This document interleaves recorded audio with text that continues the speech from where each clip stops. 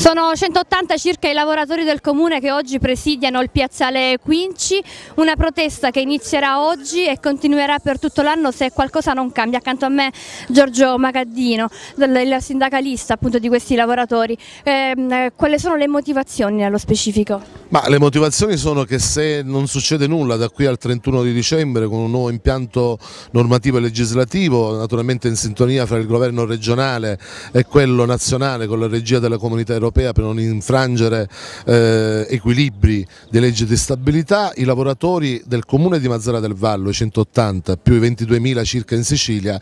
avranno finito di albergare eh, fra di loro un sogno mai realizzato. Io credo che nel terzo millennio negli anni in cui siamo, con eh, l'assoluta incertezza, quasi un vuoto eh, istituzionale nella regione Sicilia, un governo che fa acque da tutte le parti e soprattutto con un governo nazionale che annuncia mega riforme, eh, momenti di aggregazione complessiva, di dare certezza a chi non ce l'ha, continuiamo a tenere in piedi una vergogna soltanto siciliana con la collaborazione in atto da parte del governo eh, italiano. Noi riteniamo che nonostante le proroghe adoperate dal governo nazionale dobbiamo mettere in campo una norma che dia lustro al sacrificio di gente che ha speso i migliori anni della loro vita, che da qui alla fine dell'anno vedranno infranti i loro sogni, le loro incertezze, ma non è soltanto del, il problema del lavoratore o della lavoratrice, che in quanto già tale eh, viene scalfita nella dignità di essere figli di questa Repubblica, ma dietro queste donne e dietro questi uomini ci sono nuclei familiari, ci sono ragazzi che sono mai venuti al loro tempo già nella maggiore età, che immagine diamo del Paese, che immagine diamo della politica rispetto al fatto che abbiamo un dramma di non poco conto. Ripetevo e mi piace ripetere, abbiamo evitato la macelleria sociale come diceva Crocetta, bene, c'è un altro sport che hanno messo in campo, siamo di fronte a una vera e propria mattanza, però attenzione, non ci faremo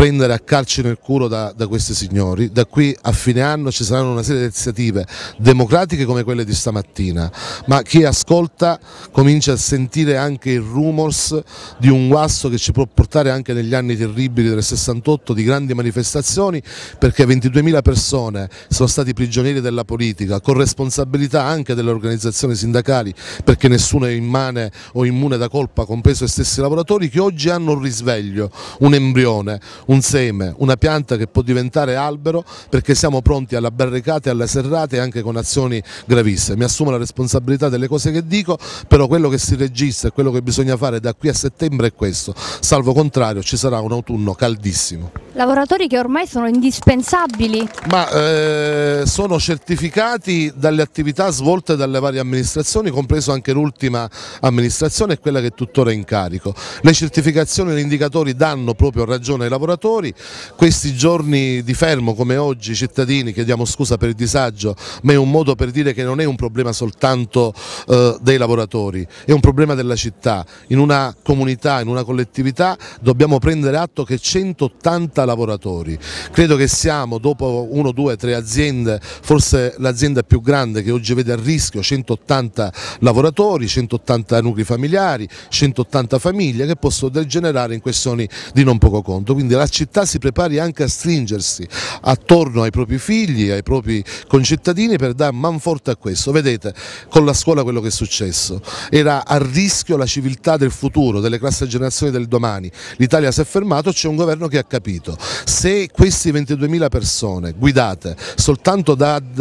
un sentimento nobile che è non l'occupazione a tutti i costi, ma la dignità riconquistata a tutti i costi per gli arbitri che sono normati normati dalla legge, noi riteniamo che essendo utili e indispensabili venuti dal Comune e la testimonianza dell'amministrazione non siamo contro nessuno, abbiamo visto che hanno attivato delle procedure che stanno assicurando tramite i bandi di selezione alcune attività per una parte di loro, ma sono un numero eh, esiguo, si parla di 6-7 unità contro 180, c'è bisogno di un radicale cambiamento dal punto di vista dell'impianto normativo. Ci dite che non li facciamo tutti in una mattinata o nel volgere di un semestre, ma è chiaro che in un lasso di tempo programmato e ben delineato e ben preciso e con certezza noi lo dobbiamo determinare perché cosa succede? La gente va in pensione, va in quiescenza, le somme rimangono nelle pieghe del bilancio e non diamo il ricambio, il cosiddetto turnover. Qui per la portata della questione non siamo più in queste condizioni, bisogna derogare a norme e la comunità europea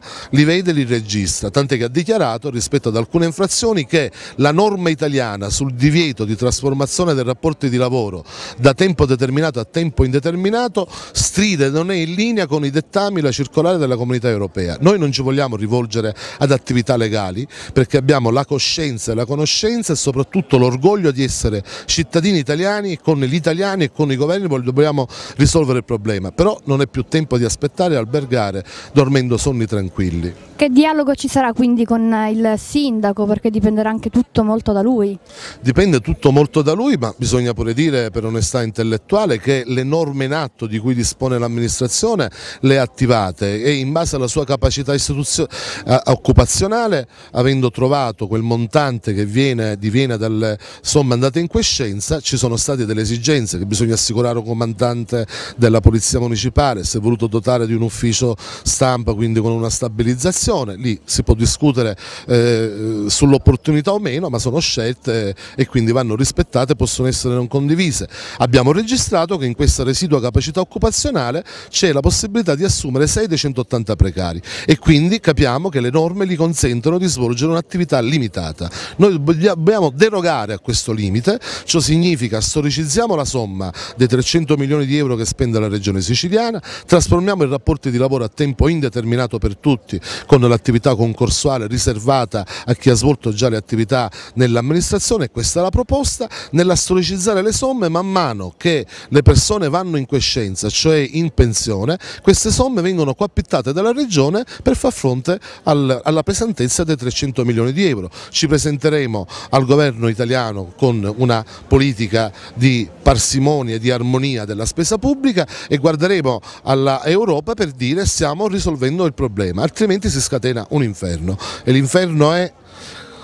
perché ne parliamo? Apparentemente c'è gente che potrebbe anche farne a meno, si innescono due meccanismi, se in un nucleo familiare c'è uno che lavora eh, sono drammi. E lì è incontrollabile quello che succede, se in un nucleo familiare sono tutti e due che lavorano si innesca un altro meccanismo, la dignità di avere speso 25 anni per raggiungere un obiettivo che è la dignità di essere cittadini italiani. Noi siamo ex giovani, ora siamo madri e padri lavoratori a tempo determinato, anche nonni, qualche collega ha detto.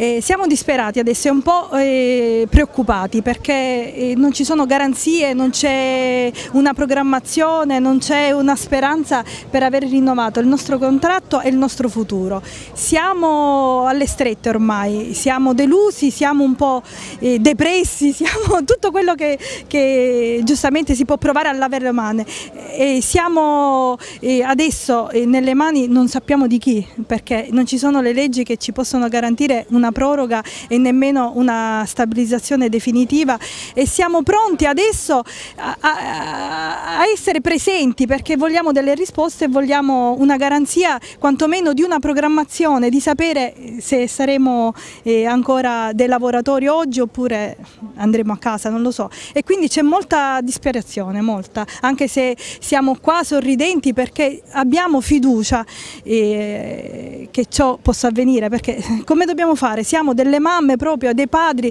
ci sono colleghi che sono entrambi qua presenti, entrambi eh, contrattisti e precari e quindi significherebbe mandare delle famiglie proprio eh, allo, allo, allo sbando. Basta precariato, insomma oggi si grida basta il precariato per un futuro migliore? Allora io grido per due persone doppiamente perché sia io che mio marito siamo precari all'interno del comune di Mazza del Vallo con la qualifica di vigili urbani. E questa cosa diciamo che sta diventando non pesante ma un macigno. In una famiglia che è, ha sempre vissuto di precariato, ha fatto tre figli all'interno del precariato, li ha stressati facendo conoscere che la vita è, sol è soltanto precariato, perché io ho figli a 26 anni che diciamo ho avuto durante questo periodo. Ora basta, ora basta. E lo dico a maggior ragione io portavoce della Polizia Municipale e avendo anche mio marito come Polizia Municipale. Basta, ora basta. Lei ha sempre vissuto nel precariato, quindi assieme a suo marito, con la speranza però sempre alle istituzioni. Oggi questa speranza viene a mancare oppure no? No, questa speranza non è che viene a mancare, noi a 101 dicembre siamo a casa e io mi devo doppiamente preoccupare perché io non ho da dove attingere, cioè forse qua qualcuno ha il marito che è impiegato, ma io no, io no. Quindi eh, mi faccio portavoce sia dei miei colleghi, giustamente, ma soprattutto per me, per la mia famiglia, che è doppiamente diciamo, tartassata da questa cosa. 180 persone vogliono dire 180 famiglie che a Mazzara del Vallo sono un numero veramente grande di persone che in questo momento rischiano di perdere eh, uno stipendio che in tempi d'oggi insomma uno stipendio a volte anche l'unico che c'è in una famiglia. Le 180 persone oggi presenti qua significano 20.000 persone, 22.000 persone che stanno scioperando in Sicilia. Il presidio di Mazzara che non è uno, un, una manifestazione contro l'amministrazione comunale Mazzara è una parte della manifestazione che sta avvenendo in due grossi centri siciliani, Agrigento e Messina. Per scelta si è deciso di presidiare il comune di Mazzara del Vallo perché riteniamo che ogni grande fuoco possa accendersi anche con un fiammifero. E noi pensiamo che se la politica non saprà dare in tempi brevi risposte adeguate questo sia il fiammifero di un fuoco che si espanderà prima per tutta la provincia di Trapani perché inviteremo anche i colleghi delle, degli altri enti provinciali in un'unica assemblea nei prossimi giorni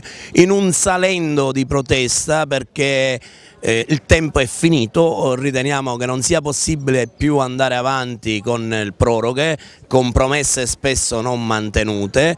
E il presidio di Mazzara serve anche a dire che un'amministrazione non è tale e non è chiamata solo ad applicare le norme, un'amministrazione è chiamata anche a interpretare le norme, a cercare di trovare soluzioni. In passato e per altre cose questa amministrazione ha saputo fare amministrazione creativa, spesso non proprio lodevole, per una volta la faccia in maniera lodevole e aiuti a trovare le soluzioni. Invitiamo questa amministrazione per esempio a porsi dire, in testa alla manifestazione per trasmettere la necessità vera e reale di questi lavoratori perché non è possibile dire eh, un giorno senza di voi non si può andare avanti nel tentativo magari di tenerli buoni e l'indomani come dire vabbè senza di voi andiamo avanti lo stesso. Non è possibile fregarsene e poi durante la manifestazione allo sciopero arrivano telefonate di posizioni organizzative che in maniera più o meno velata minacciano perché si sono bloccate le attività e quindi bisogna andare al lavoro, non è consentito, non è corretto, è giusto che se l'amministrazione come ha dichiarato in atti pubblici e ha sottoscritto atti pubblici dove dice che senza questo personale non può andare avanti, anzi ha necessità di altro personale, si intessi la battaglia perché se la intesti questa amministrazione, se la intestino tutte le amministrazioni della Sicilia perché solo solo attraverso una sinergia delle necessità si può far capire a chi deve capire che è finito il tempo delle promesse, non è più un bacino elettorale da strumentalizzare, è necessario trovare soluzioni definitive, quale siano oh, non me lo sento di dire, però bisogna mettere la parola fine a questo stillicidio. Politica miope, eh, politica fatta sul discorso ma se mi paga la regione perché devo prendermi questo problema sul groppone, ha consentito negli anni che si arrivasse come dire, al traguardo eh, senza aver risolto il problema. C'è il rischio che il 31-12 eh, per molti si trasformi non in una festa di, di fine anno, una festa di capodanno, ma si trasformi con eh, l'addio al lavoro, l'addio al lavoro tanto agognato per il quale negli anni questi lavoratori eh, a secondo di come se le legge più, più, o meno correttamente hanno dato non solo i loro migliori anni della, dire, della vita ma sono stati spesso, e lo voglio sottolineare, sfruttati. Sono... In che senso sono stati sfruttati? Arrivo, sono stati utilizzati al limite del lavoro nero perché di queste persone se ne è fatto strame utilizzandole come volevano e quando volevano, chiamandoli alla bisogna a fare ore di lavoro in più, concedendo a qualcuno integrazioni, a qualcun altro no, facendo in buona sostanza la vecchia politica delle amicizie, che è una cosa aberrante e che, come dire, riprovevole, non è più accettabile. Ricordo che Mazzara per tante cose è stata in passato laboratorio. Noi speriamo che anche questa volta sia laboratorio, laboratorio di una protesta diversa dalle 20 eh, proteste, una, almeno 20, una annuale che si sono fatte fino ad oggi. Parta da qui un movimento nuovo che possa far raggiungere da una parte gli obiettivi e far capire ai vecchi politicanti che è finito il tempo del, lo dico in dialetto, attia di lovo.